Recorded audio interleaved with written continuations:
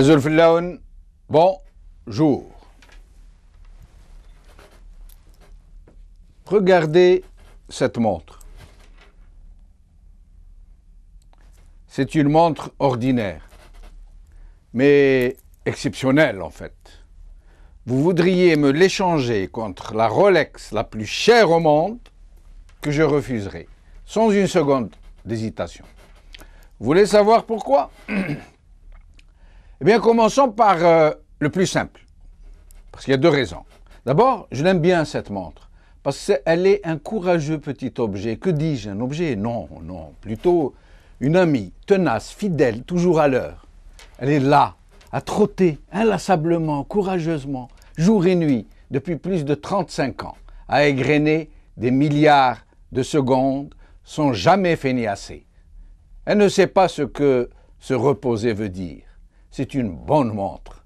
La nuit, avant de dormir, je la quitte avec regret presque. Et dès potron miné, le matin, dès que je me, j'ouvre les yeux, je me hâte de la remettre à mon poignet. Et elle, comme si elle était tout aussi contente que moi de nos retrouvailles, elle s'emballe et me fait un petit sprint de trotteuse avant de ralentir et de retrouver sa régularité de montre sérieuse. Mais l'autre raison, celle qui compte vraiment, et qui fait que cette montre est irremplaçable pour moi, qu'aucune autre montre au monde ne pourrait l'égaler, et que je l'ai hérité de mon père, C'est mon frère cadet qui la lui avait offerte il y a environ 35 années, et à la mort de mon père, ma mère me l'a donnée. Grâce à elle, grâce à cette montre, mon père est continuellement dans mes pensées. À chaque contact de cette montre avec ma peau, à chaque fois que je la consulte, un souvenir de mon père me revient. Parmi les innombrables moments de vie et de bonheur qu'il nous a donnés, il y en a tant. Et à chaque fois, je m'en rappelle. Cette montre me tient connecté à celui qui m'a transmis la vie, mais en même temps que me transmettre la vie, il m'a transmis le long, l'immémorial héritage de mes ancêtres. Et j'ai découvert, grâce à cet objet attachant, que je suis une banque de gènes, que je suis un chaînon d'une longue, très longue chaîne de vie. En fait, avec tout son mérite, cette montre n'a servi que de déclencheur. Un peu comme un interrupteur sur lequel on appuie et qui fait jaillir la lumière. Ce bouton n'a fait que rétablir une ligne d'énergie, une vibration qui vient du fond des âges. Il en est ainsi de cette chère montre qui m'a reconnecté avec la mémoire de mon cher père grâce à elle, comme un enfant émerveillé qui apprend la vie à chaque instant, à chaque pas, j'ai découvert d'où me venait cet, amour sublime, intarissable, passionné et inextinguible que je porte à mon pays, à la terre-mère, Cette montre m'a fait découvrir que je suis la somme mémorielle de tous ceux et de toutes celles qui m'ont précédé, du côté de mon père comme celui de ma mère. Je porte dans mes gènes, comme dans un disque dur d'ordinateur, toutes les secondes de vie de mes innombrables aïeux, leur joie, leur peine, leur haine, leurs sentiments, tous les sentiments qui les ont animés, bons ou mauvais. Je suis eux, jusque dans mes tréfonds. Et après moi, la chaîne s'est déjà enrichie de nouveaux et jeunes maillons, mes enfants et mes petits-enfants. J'ai des petits-enfants qui vivent en France et au Canada et en Algérie. J'ai tout fait et j'ai réussi à convaincre mes enfants de leur parler dans leur langue vernaculaire, notre belle derja, parce que je sais que la langue est le fondement le plus solide de l'identité matricielle. Mais pas seulement. Je fais tout aussi tout pour transmettre à mes enfants et aux enfants de mes enfants l'amour de la terre-mère. Toute ma famille qui vit à l'étranger s'est imprégnée de l'idée fixe, presque obsessionnelle, que nous vivons dans l'exil, que nous ne sommes pas chez nous, que tous nos rêves doivent tendre à revenir à la terre-mère, celle où ont, vécu nos aïeux, où ils reposent, où nous aussi, tous, nous reposerons un jour. Mais cette conviction, cet amour que je porte à notre malheureux pays, cet élan du cœur qui me transporte chaque jour dans le souvenir des jours passés, plutôt que de faire mon bonheur, m'emplissent d'angoisse et de peur. J'ai peur que mon pays ne vole en éclats, qu'il ne s'effondre sur lui-même, que des vents mauvais soulèvent des tempêtes en son sein. Notre pays a été effroyablement perverti. La canaille qui en a pris le contrôle et qui l'a saccagé, à un point il faudrait un siècle de reconstruction pour le remettre debout, parce que c'est l'homme qui a été dévasté, vidé de ses valeurs les plus belles, réduit à l'état de tube digestif.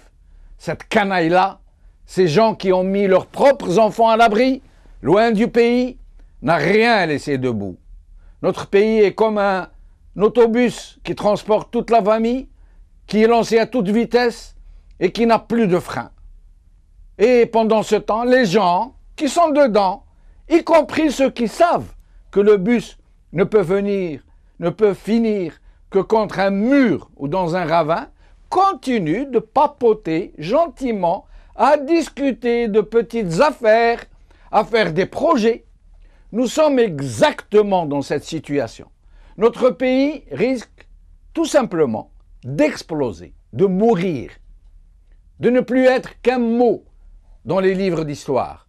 Et les gens, y compris ceux qui ne peuvent pas ne pas savoir que cette situation ne peut que mal finir, font comme si de rien n'était. Ils sont des universitaires, des gens bien informés, au fait de la véritable situation du pays. Mais ils ne se sentent pas concernés.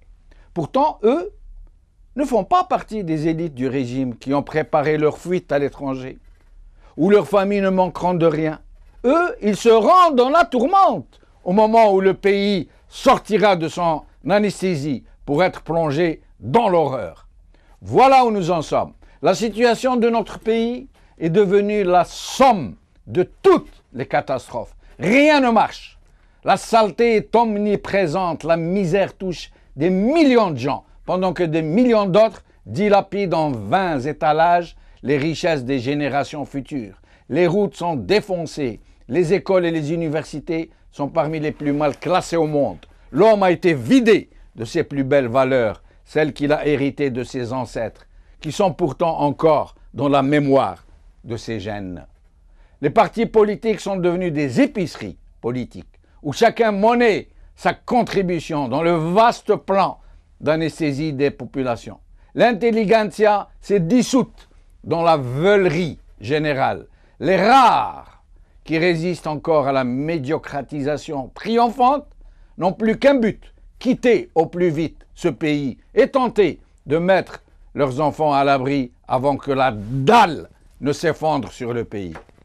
La situation est grave, presque désespérée, au point où le régime ne met plus de gants pour nous faire avaler ses, mensonges et nous faire accepter ses turpitudes comme autant d'exploits.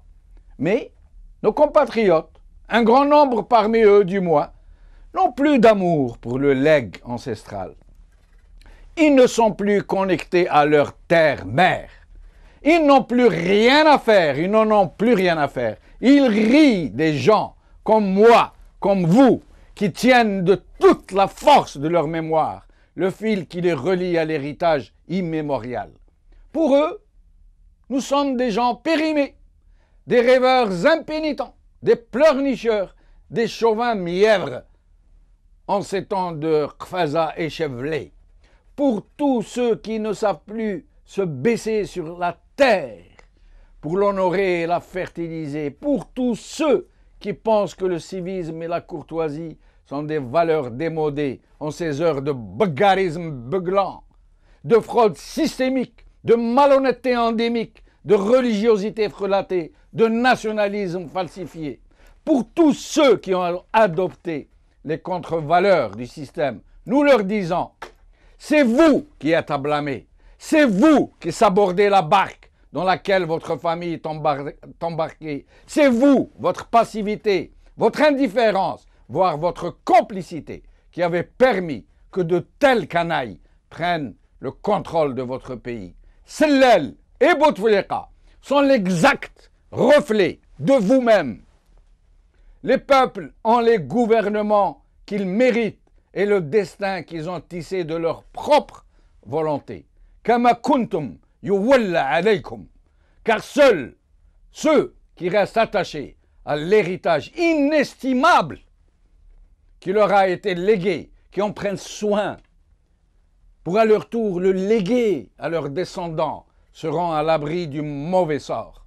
La patrie est une grande famille où chaque membre prend soin des autres. Aucune nation n'est à l'abri, ni aucun groupe humain, si ceux qui les composent désapprennent les valeurs qui les ont fondées. L'Algérie est en danger de mort imminente. Que nul, demain, ne dise qu'il ne savait pas. Avec nous aujourd'hui pour dire ce qu'il pense de cette hallucinante situation, L'Arbi Zouaïmiya, analyste politique, Zine Bazouz, universitaire, Sofiane Benajila, ingénieur, agronome, et Gilani Gassari, ex-directeur général de société, Emmanuel infirmière. L'Arbi merci d'être avec nous. C'est moi qui vous remercie. Euh, salam alaikum. Je salue tous euh, vos téléspectateurs de Magharibiya. Est-ce que vous m'entendez bien? On vous entend très bien, c'est l'Arbi. Euh, je crois que je n'ai pas à vous poser de questions. Vous pouvez vous exprimer. C'est tellement vague un peu. C'est, Qu'est-ce que vous voulez que je dise? Il y a beaucoup de marchandises là-dessus. L'Algérie, qu'est-ce que vous l'Algérie est à l'image actuellement, elle donne l'image d'un pays complètement, c'est-à-dire à côté de la plaque, c'est-à-dire euh, jeté par de, au-delà de la route presque de, du développement. Euh, la situation, moi ce qui m'intéresse dans cette situation, c'est le volet économique et social qui euh, pourrait être déclencheur d'une grave crise multiforme dont nul, dont nul ne, peut, ne pourrait sortir indemne.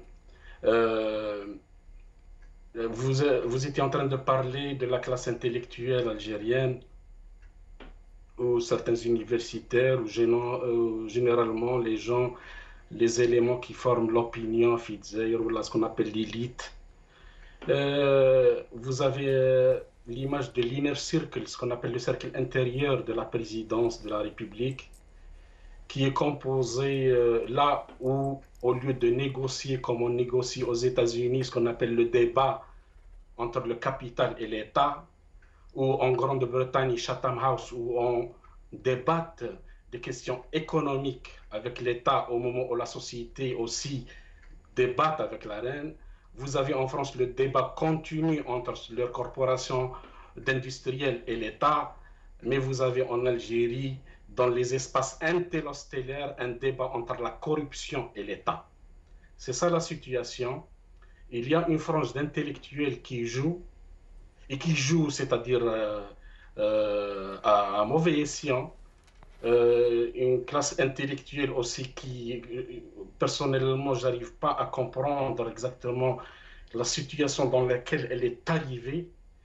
Euh, elle est happée par le tourbillon d'une complicité, euh, d'une traîtrise qui en principe, qui doit, elle, qui est censée apporter la réponse alternative à un pouvoir de voyous, une voyoucratie, une mafiocratie, une siestocratie. Euh, voilà ce qui. Euh, je n'ai pas un autre diagnostic à, à, ajouter euh, au risque de, de, de, de, de, contribuer à augmenter certaines convulsions dans la société. Nous avons un problème en Algérie et un problème. Euh, restez, restez avec nous, euh, restez avec nous. Zinb, Zinb Azouz. Zinb, merci de nous avoir rejoints. Salam wa rahma Merci d'être avec nous. Alors, Zineb, euh, à, votre avis, cette situation, elle peut, elle peut durer éternellement comme ça? On peut, Est-ce qu'un pays peut éternellement euh, euh, vivre dans une telle situation absolument ubuesque? Malheureusement, l'histoire nous montre que les, processus de déchéance peuvent, durer. Hein, peuvent durer. Il ne faut pas croire que du jour au lendemain, un, événement miracle euh, ou un météore va, changer la situation. Bien sûr, bien sûr, tout est, possible, mais les processus qui font qu'une société change et, change de manière radicale, comme on l'espère, parce qu'il ne peut y avoir qu'un changement euh, radical pour, euh, pour, pour que ça avance. Ce, genre de processus du temps. Hein. malheureusement, ne, ne, rêvons pas. Hein. Euh, nous ne pouvons, nous ne pouvons que, faire, euh, nous, ne pouvons, nous, ne pouvons que creuser comme, comme creuse une goutte d'eau face à un rocher. Euh, nous ne sommes pas là pour gagner des batailles, nous sommes là avant tout pour mener des batailles.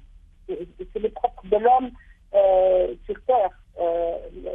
la victoire, la victoire, personne ne sait comment elle vient ni quand elle viendra. Pour revenir, revenir à la problématique de, cette émission. Euh, j'aimerais rebondir sur, cette, citation et ce, concept qui effectivement renvoie, renvoie les peuples comme aux gouvernants qu'ils ont.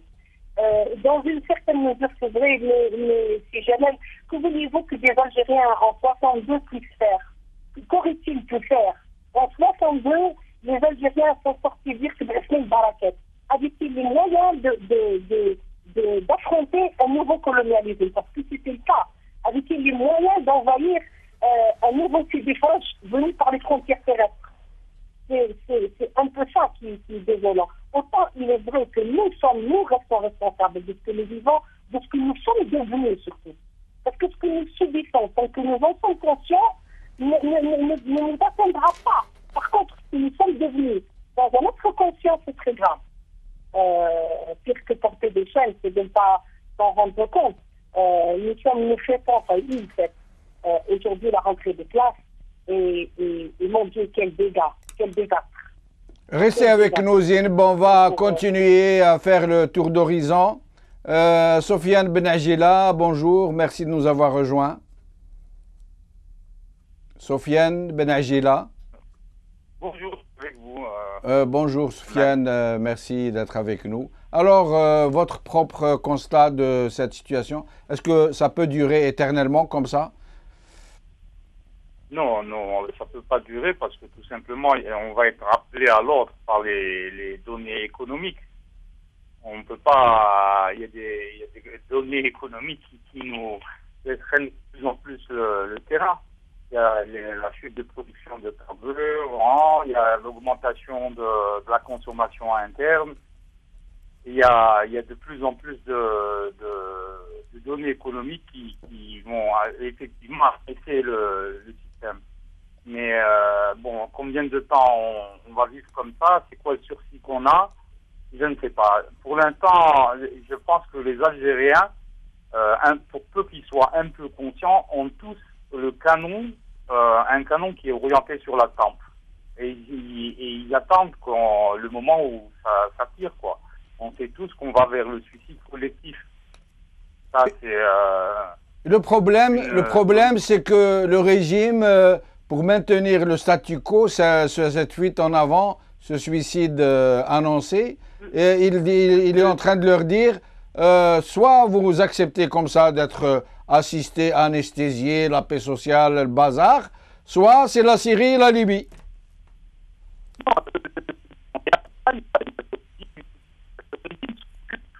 Uniquement de, des fonds, quoi, des détournements de fonds. Et ça, son problème. Le problème, c'est pas. Bon, pour maintenir le, statu quo tenir la paix sociale, il y a ce qu'ils injectent comme argent ce qui est injecté en, matière d'ordre. Parce que euh, actuellement, euh, tout, tout, tout, ce qui est comme euh, l'appareil policier qui est en train de se mettre en place donne une idée. En plus, il y a des promos qui viennent de sortir et tout. Vraiment, c'est l'état policier de, de, par sa définition. on n'a qu'à voir et on n'a qu'à voir la loi qui est sortie est passé sous silence la loi, la nouvelle loi euh, du 12 juin 2014 qui interdit la, critique des institutions, qui fait la chasse aux Facebookers, etc. Donc, euh, eux, euh, il y, a, un problème, il y a un problème avec le téléphone. nous, revenons vers vous, Sofiane Benagila. Gilani Gassari, merci de nous avoir rejoints. Alain Gilani. Alors, euh, votre avis, vous qui vivez à Tébessa, l'une des villes où, euh, qui frappée de plein fouet, contrairement à, euh, certaines villes du Nord qui sont un peu une vitrine, par une grande misère, en même temps que, c'est une ville où il y a de très très gros trabendistes, des gens qui brassent des milliards de dollars. ben, Parlez-nous un peu de cette situation. La situation. Bonjour à auditeurs euh, et vos invités. Euh, si j'ai mal la ville de Il y a un problème de téléphone. Hein. La ville de Tébessa est frontalière avec euh, la wilaya avec la Tunisie sœur. Oui. Alors ce qui fait, c'est une ville frontalière, automatiquement il y a de la contrebande. Et ce qui dit contrebande, il dit les nouveaux riches, les faux riches plutôt. Oui. Moi, ce qui m'étonne, ce n'est pas les, nouveaux les, il y a un problème de téléphone, euh, il ne faut pas vous déplacer, je crois, parce que là, on vous perd à chaque fois. Non, non, non, je suis sur le fixe. Voilà, voilà. D'accord. Je suis sur le fixe. D'accord, mais on vous retrouve là, c'est bon. Moi, ce qui m'étonne dans cette situation, la situation actuelle du pays, oui. c'est le peuple qui pleure dans le silence. C'est le peuple qui se révolte dans le silence. C'est le peuple qui revendique dans le silence un peuple qui n'arrête pas de dire non dans le silence. Un peuple qui son président dans le silence. Un peuple qui, qui crie haut et fort, la dans le silence. Un peuple qui s'entretue dans le silence. Un peuple qui chante dans le silence et un peuple qui boude dans le silence. Alors, excusez-moi, euh, qui gère ce pays? Alors, si ce n'est pas l'élite, l'élite, la décadence des élites, on est la principale cause. Lorsqu'un simple citoyen observe quotidiennement politiciens, militaires se partager le pays comme, un butin, comment voulez-vous qu'ils réagissent à, faire, faire comme eux? Alors, vu qu'on n'est pas le directeur du foncier, ainsi de suite, il va tout d'abord aller directement à l'INSEJ, au faux dossier d'Adel, au crédit Fellah, aux arnaques, au vol, à la contrebande, au détournement, au trafic, à l'importation frauduleuse. Bref, il copie tout bêtement la rapacité de nos responsables irresponsables. Ce qui fait, euh, ce qui me fait dire, euh, le silence de, nos, élites euh, me laisse dire à penser que euh, l'inactivité ou l'inaction de, notre élite, euh, je pense que c'est un peu leur faute, parce que le silence a trop duré, l'indulgence aussi, le simplisme surtout. Nous avons imputé les problèmes de l'Algérie contemporaine un régime vieillot dépassé et rongé par le vice et la corruption. Ce n'est pas malheureusement la vérité absolue. Dans la vie, il n'y a jamais de vérité absolue. Il y a uniquement des mots qu'on passe sous silence pour ne pas blesser les sensibilités, piétiner notre ego, mettre en péril notre fierté ou pour protéger quelques intérêts. Restez, restez oh. avec nous, Gilani Gassari. Nous allons observer un court intermède et nous revenons euh, pour passer notre dernière invitée, Manel, infirmière, en France qui vient de rentrer d'Algérie après un voyage où elle nous dit avoir fait le tour de l'Algérie. Euh, nous revenons donc dans un instant. Merci de rester avec nous.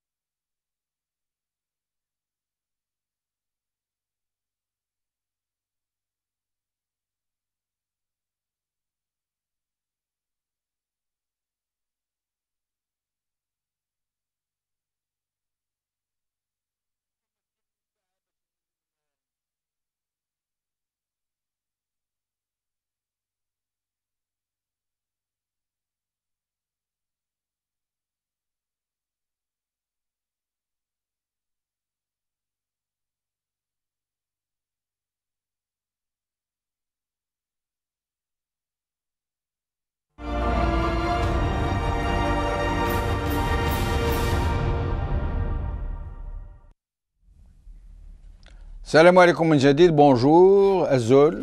Donc, euh, nous allons accueillir Manel. Manel, merci d'être avec nous. Nous l'avons perdu. Nous allons la retrouver dans un petit instant et nous revenons à Zouaïmia Larbi. Si Zouaïmia, c'est Larbi. Oui, je vous entends. Alors, euh, que, que- que pensez-vous donc de ce que viennent de dire euh, nos autres invités? Franchement, je n'ai entendu aucune intervention parce que je ne sais pas qu'est-ce qui se passe. En tout cas, euh, qu'est-ce que nous sommes. euh, je me rappelle de quelque chose que de quelque chose juste après la, la guerre de la guerre de l'Irak, la guerre enclenchée par les États-Unis contre Saddam Hussein. Il y a ce qu'on appelle l'affaire de Yes Jeff. Jeff, c'est un proxénète euh, qu'on l'a fait entrer euh, à la Maison Blanche en tant que journaliste. On l'a placé. Est-ce que vous m'entendez? Allô? Allô? Je vous entends, je vous entends. Ok. Je vous, je vous ai dit que. On vous entend, c'est Larbi. Ok. euh, donc, euh, je vous ai dit, Jeff était un proxénète qu'on a, qu'on a fait entrer à la Maison Blanche en tant que journaliste. On l'a placé juste euh, dans euh, la première rangée. Et c'est le euh, porte-parole de la Maison Blanche, après des questions, a donné à, à Jeff de poser, c'est-à-dire c'était le tour de Jeff de, de, de, poser sa question. On appelle ça Yes Jeff. Ça veut dire et puis, ça a fait un grand problème aux États-Unis. C'est une affaire de déontologie, d'éthique, de vraiment. Euh, il- ça s'est jamais passé dans, dans, dans un État qui se réclame un État de droit et un État, un État de démocratie. Euh, c'est la même situation presque qui se passe chez nous. C'est la même, presque la même situation, mais euh, dans les pays de droit, c'est cadré par les institutions parce qu'elles ne peuvent pas, elles ne peuvent pas sortir du cadre.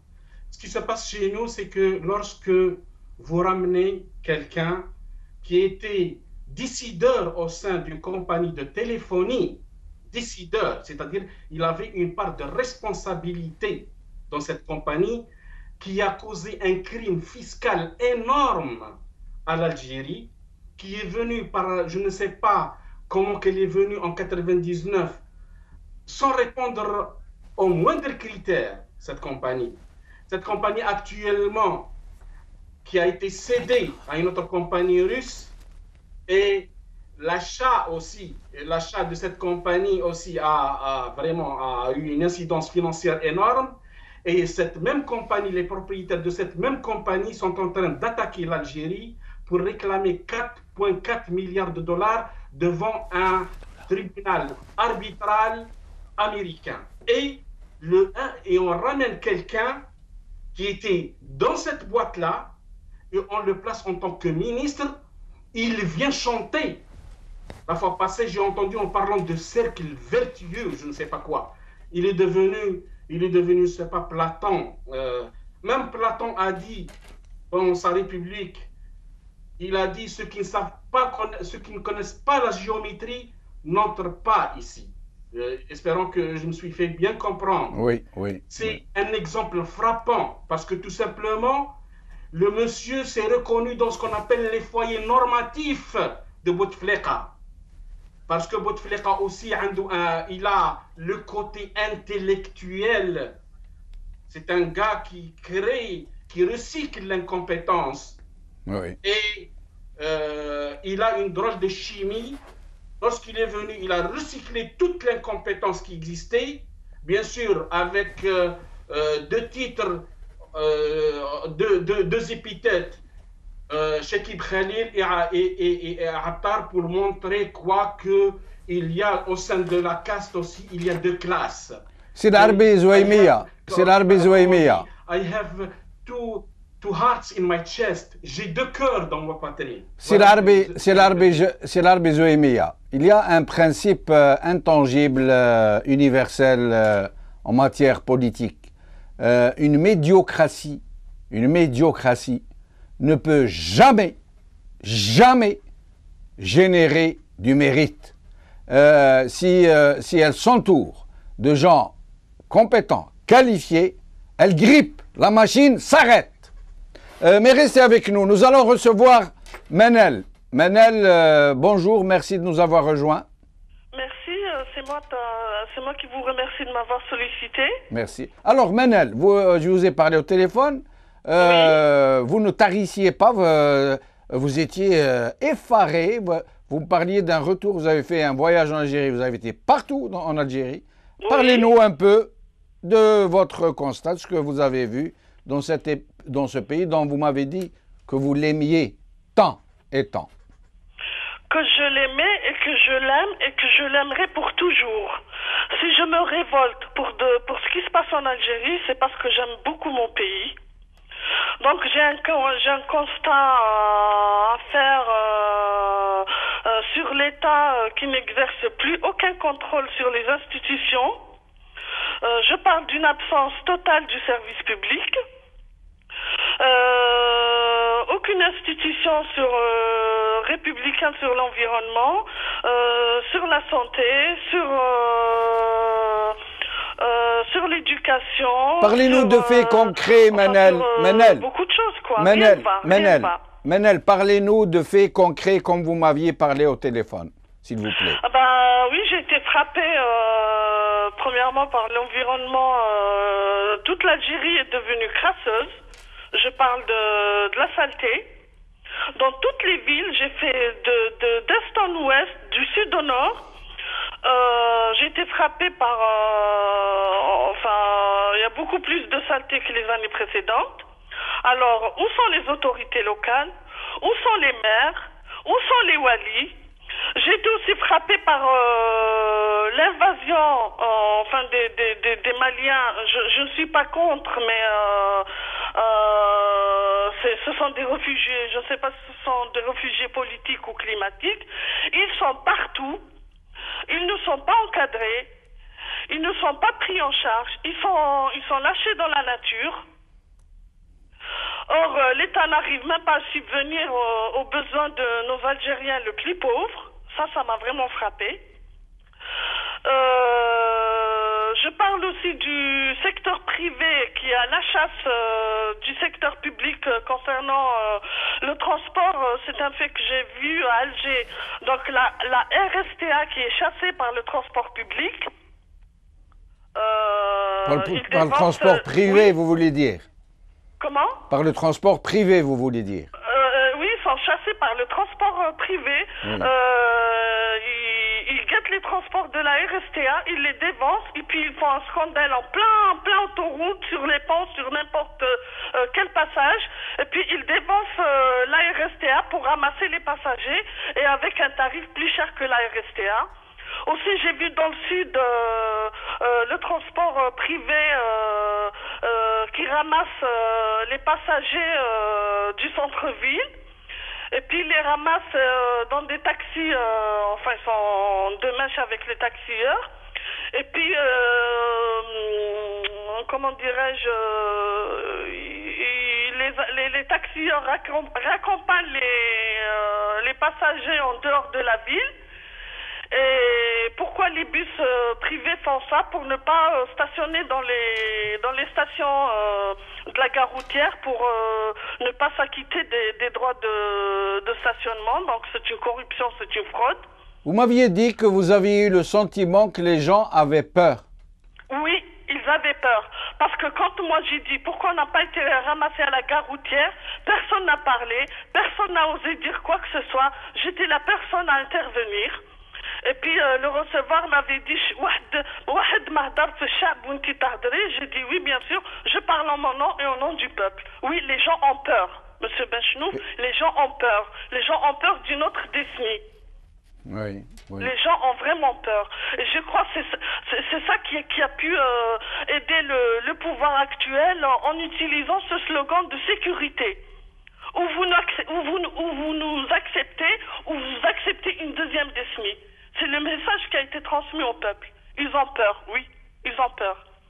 Ils ont peur et en même temps, j'ai trouvé un peuple anesthésié, j'ai trouvé une jeunesse dégoûtée, anéantie, agressive, qui ne cherche que qu'à s'enfuir euh, par le biais de, de, de la de la Harga. de Haraga, voilà. Donc euh, voilà ce que j'ai constaté. Euh, au niveau du secteur sanitaire, euh, c'est le chaos aussi. Donc celui qui tombe malade, il crève parce qu'il n'y a pas de soins, il n'y a rien du tout. Les hôpitaux sont très sales, il n'y a pas de médicaments, il n'y a pas de moyens. Euh, les médecins aussi sont dégoûtés, ils ne cherchent qu'à quitter le pays pour aller ailleurs. Ils ont raison parce qu'ils n'ont pas fait euh, des études supérieures pour euh, voir des malades crever euh, entre leurs mains. Euh, j'ai- constaté aussi euh, au niveau urbanisme des constructions anarchiques partout. Partout, partout, partout. Dehwan, dehwan, dehwan, dehwan. Et puis, euh, à l'étage, deux ou trois étages du cubisme, qui n'ont aucun style, aucune norme. Ils construisent sans réglementation. Il est où l'État? Il est où l'État? Oui. Euh, euh, Zineb Azzouz. Zineb. Zineb, est-ce que vous êtes toujours avec nous? Oui, je vous écoute. Oui. euh, vous, avez, ent- vous avez entendu Manel ce qu'elle disait un peu à propos de cette débâcle générale? Entendu et malheureusement je ne peux c'est, euh, euh, c'est l'absence, totale de, l'État comme, euh, comme le dit certains gendarmes partout et ça nulle part. Et c'est, exactement ça la dictature que nous subissons. Nous ne subissons pas une dictature à la coréenne ou à la Pinochet où il y a une, une- institution militaire organisée qui là, dans le cadre d'un projet aussi sauvage euh, qu'il puisse être, euh, du style nous, nous, voulons- nous devons stopper le communisme, nous devons stopper le socialisme, euh, et c'est dans ce cadre-là que nous, que nous nous emparons de, du, pouvoir par un coup d'État, mais en même temps, il y a quand même des institutions qui fonctionnent sous cette casquette.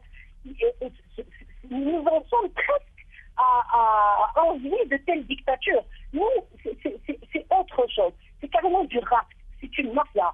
C'est-à-dire que ce sont des gens qui ont accaparé du pouvoir il y a plus de 50 ans, qui maintenant euh, euh, se, se de tout ce qui est gestion du quotidien de, de, de, du citoyen. Le citoyen, s'il bouge, il y a la justice. Avant, il y avait la justice parallèle, maintenant, il y a la justice au grand jour. hein. Euh, je me permets de rappeler le cas de Will Gadda, qui, pour avoir diffusé une photo d'homme habillé en, en uniforme, se retrouve avec deux ans de prison. Non, ce pas des hommes habillés en uniforme, c'est des policiers, cela a été prouvé. Il a, c'est pas lui qui a filmé, c'est une caméra de sécurité. qui, Lui, il l'a diffusé probablement. Il s'est avéré que ce sont des policiers. Pour rester à la limite rigoureuse en civil. Hein. Sont déjà des, des, des, voleurs habillés en policier, qui se débrouillent maintenant à aide de faire l'enquête en théorie. Pour revenir à ce que, disait Manuel au cadre théorique dans lequel nous évoluons, euh, il, faut que le peuple comprenne que ce n'est pas en changeant de président, ni en allant jouer dans la cour du pouvoir via des élections, ni via des... ni en allant frapper aux portes des militaires pour les supplier d'intervenir auprès de qui, auprès de quoi, on ne sait pas le peuple doit se prendre en charge, il doit, il doit prendre conscience qu'il est livré à lui-même, que ces gens-là et toute leur et tout leur harem, et je mesure mes mots, ils ne sont là pour entretenir la régime. Quand, nous avons une opposition agréée qui, s'exprime, c'est pour dire au pouvoir, attention, tu vas craquer, on est là pour te soutenir. Ce n'est pas pour dire au peuple, on est là pour, que vous preniez conscience et pour vous vous en sortir en dehors de cette verticale euh, euh, euh, satanique, j'allais dire. Le peuple doit prendre conscience, toutes souches confondues, que s'il ne se prend pas en charge, il est perdu. Ils vont nous livrer à la mafia, pour reprendre un peu à la mafia du parking, voilà, nouveau terme qui est apparu. Ils vont nous, léguer à la mafia de Big Pharma, qui va nous fourguer n'importe quoi à n'importe quel prix. Ils vont nous fourguer à la mafia de la construction. Ils vont nous fourguer à la mafia qui va s'occuper d'éduquer nos enfants via des écoles privées pour arriver euh, à des prix incroyables. Ils vont nous fourguer au chauffage qui tue et, et- et en toute impunité. Ils vont nous, nous, nous fourguer à toutes sortes de fléaux tout en rigolant. Tout en rigolant. Avec- parce que le peuple va se retrouver à supplier le policier, le gendarme pour qu'il vienne le protéger et qu'il ne viendra pas le protéger parce qu'il ne peut Me- pas le protéger. merci, merci Zineb. Merci Zineb, il nous reste environ cinq minutes. Euh, nous allons donc les, euh, le- le- les donner à nos deux derniers invités. Donc, euh, euh, euh, euh, si vous pouviez nous exprimer en deux minutes votre constat, un constat le plus ramassé possible sur cette situation. Qu'est-ce que vous nous diriez? Vous savez qu- qu'on importe, l'Algérie d'aujourd'hui ne nourrit pas l'Algérie de 1962. Ça, il faut le savoir. D'accord? Euh, Et on importe ce qu'on a importé en blé, en alimentation en 99, on a importé. Euh, Vous avez vu en 2014. Il y a un problème avec 2014, votre téléphone, j'ai l'impression. Donc, on- Voilà, c'est mieux. l'Algérie actuelle Oui. ne nourrit pas l'Algérie de 1962. Ça, c'est un fait. On ne peut pas actuellement pas nourrir l'Algérie, même pas de 1962. On, on- euh, bon, il y a, en 99, notre importation alimentaire, notre euh, facture alimentaire euh, était de X. Actuellement, en 2013, rien que la facture de blé, elle fait le double de la facture alimentaire de, de 99. Euh, on est passé importateur de carburant, euh, on importe l'équivalent du, de- du PIB de la Mauritanie en plus de 3 milliards de dollars en carburant. Ça, c'est des données qu'on ne peut pas y échapper. Il y a une demande interne qui n'arrête pas d'augmenter, le peuple est déprimé, le- le- le- les, les intellectuels ne sont pas, n'ont pas d'emprise sur la société, et, euh, et- mais c'est sûr qu'on va atteindre le point de rupture. Euh, Sofiane Benagila, Sofiane Benagila. Sofiane, euh, je, euh, je, je, euh, normalement la question, j'aurais dû la poser à Zine Bazouz, mais je vous la pose. Euh, Qu'est-ce qui explique, selon vous, cette absence, euh, j'allais dire, spectaculaire euh, de, l'université algérienne? Elle est tellement absente que ça en devient, euh, franchement, quelque chose d'absolument extraordinaire. Ça veut dire qu'elle n'est pas là du tout mais pas de la plus petite manière, si ce n'est celle des, des, des, réunions où il y a de la claque, où on reçoit le ministre, on reçoit le président, après on passe euh, à la bouffe des gâteaux et limonades. Mais sinon, euh, qu'est-ce qui explique selon vous cette absence totale de l'université algérienne? Il y a une chose, il y a une chose d'abord, quand vous dites université, c'est quoi une université Si on voit le classement des on se rend compte qu'on n'a pas réellement d'université en Algérie. Et euh, qui dit intellectuel, même si le- l'intellectuel a le droit d'accompagner les soubresauts de la société et tout, mais tous tous les intellectuels, tous les, premièrement, tous ceux qui ont fait des études en Algérie ne sont pas des intellectuels. Et tous les intellectuels ne sont pas des élites euh, forcément. Dans, dans- enfin, tous ceux qui ont fait des études n'ont pas fait des. C'est-à-dire, il ne faut pas confondre intellectuel. On ne confond diplômé. pas, rassurez-vous, on ne confond pas. Voilà. Donc, on a plus de diplômés que d'intellectuels, en fait. Et, euh, et le peu d'intellectuels qu'il y a, ou des, réels intellectuels, tout, il n'y a pas d'assises dans la société, aucune assise sociétale. Ils sont complètement déconnectés. Et euh, euh, c'est un peu, les sociologues auraient dit, on, vivrait un état agentique, c'est-à-dire un, coma, coma politique, ou un peu ce qui s'est passé, on le, compare un peu à ce qui s'est passé à, l'époque de, l'Allemagne, quand il y avait Hitler qui montait, on sentait le mal venir, mais personne n'arrivait à bouger. Parce que, que, que ça se passe éclatement. Et euh, est-ce que ça serait le cas? C'est vrai que les gens actuellement ont peur, mais de toute façon, on va, euh, le mal actuellement est fait par une minorité, qui est permis par une majorité silencieuse. Oui. Mais c'est la majorité silencieuse qui, qui va payer. Actuellement, le pouvoir, il il ne s'occupe que de transférer des fonds. Ce qu'il fait depuis 62. Notre facture alimentaire, nous, fait qu'en France, euh, un, un hectare sur cinq est destiné à l'Algérie. Nous, on, on enrichit les céréaliers français. C'est ça le, le, le problème. Tout, tout, tout argent, tout Vous êtes, euh, vous êtes ingénieur agronome, euh, Suem Benagila. D'après vous, l'état de notre agriculture, euh, euh, est-ce qu'il est bon? Est-ce qu'il est moyen? Est-ce qu'il est... Je, euh, je- je vous ai dit, je vous ai dit, l'état de notre actuellement notre agriculture ne peut pas nourrir l'Algérie de 1962. Oui, Voilà. voilà, Euh, c'est clair. Donc, elle nourrirait même pas le quart de la population. C'est-à-dire si du, du- du jour au lendemain, il y a un vi- revirement, vous bloquez les ports, ça sera directement, on se retrouve directement en- en- à, à la famine, quoi. Et dire qu'on va revenir à l'agriculture et produire et tout, vous savez, il suffit pas de prendre un outil dans la main, la semence et dire ça va pousser. C'est pas aussi simple que ça. C'est tout un défi. Et on a les contraintes liées à, notre pays, climatique, tatati, tatati. Et il n'y a pas de réflexion là-dessus. Euh, aucune réflexion. Il n'y a aucun programme de développement cohérent qui tient, rien, rien. On n'a même pas augmenté nos rendements de 1762 à l'hectare, les rendements moyens de- des grandes cultures. C'est les mêmes. Et, et comme cette année, ça va être encore inférieur. Merci, Ah, le- Sofiane le- Benagila. Merci. Nous allons donc réserver euh, le mot de la fin à Gilani Gassari. Euh, Gilani, euh, euh, selon vous, qu'est-ce qui va arriver? Qu'est-ce qui va nous arriver? Qu'est-ce qui va arriver à notre pays? Si nous ne faisons rien, si nous restons comme nous sommes maintenant à bailler aux corneilles. Eh bien, mon ami, euh, si Euh, tant que le système politique n'aura pas radicalement changé, il y aurait très peu de chances, hélas, de voir notre pays prendre le bon virage. La croissance est évanescente et l'inflation entre. Elle dépasse les deux chiffres.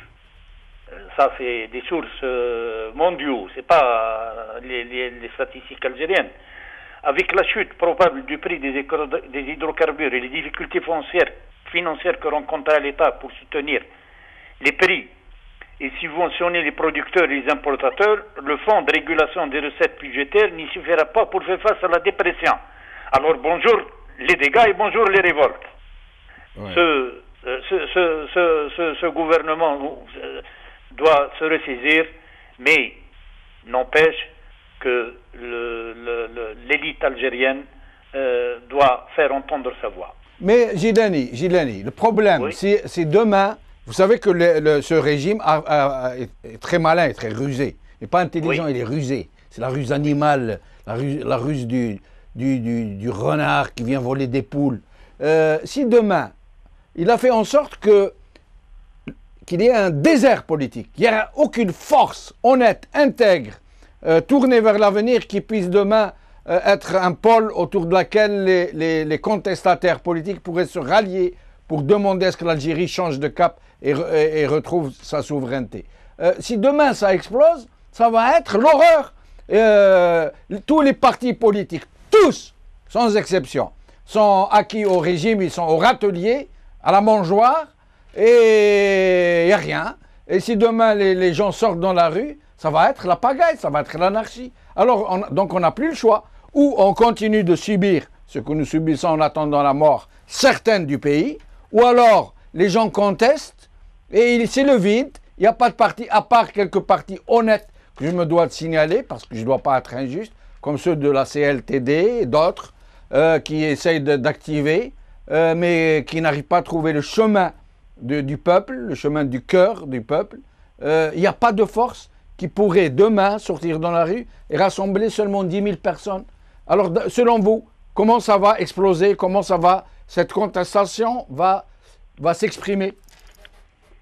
Sincèrement et honnêtement, euh, on n'a pas une classe politique qui peut réunir 10 000 personnes et sortir dans la rue pour faire abdiquer ce gouvernement. Il n'y en a pas. Ça, je ne le conteste pas. Mais ce que, ce j'en suis sûr en tant que citoyen, c'est que la population, le peuple, le, le, le, le, magor, comme on dit, le laissé pour compte, ses fils, les jeunes de ces, de ces, de ces, de, ces gens-là sortiront dans la rue et feront euh, ce qu'ils feront de ce pays parce que les gouvernants n'ont pas su prendre les choses en main et, et, et cette sortie de ces jeunes-là, euh, comme euh, la fameuse sortie à l'huile et le pain, ils feront déborder les choses et les gouvernants de ce pays ne pourront pas maîtriser la chose. Ce sera très grave. Espérons, espérons que nous n'en arriverons pas là. Espérons que les Algériens se ressaisissent, qu'ils comprennent que c'est leur pays, que c'est l'héritage de leurs ancêtres, que ce pays est le leur, ce n'est la propriété de personne, et c'est le bien de tous, qui n'ont pas le droit de laisser ce pays être détruit, être ravagé, et qu'ils sauront exprimer une contestation civilisée et responsable, calme et digne, où pas une goutte de sang ne coulera. Je remercie tous mes invités. Merci à vous tous, euh, mes chers téléspectateurs et chères téléspectatrices, de nous être fidèles. J'espère vous retrouver bientôt. Salam alaikum, Azul, merci et au revoir.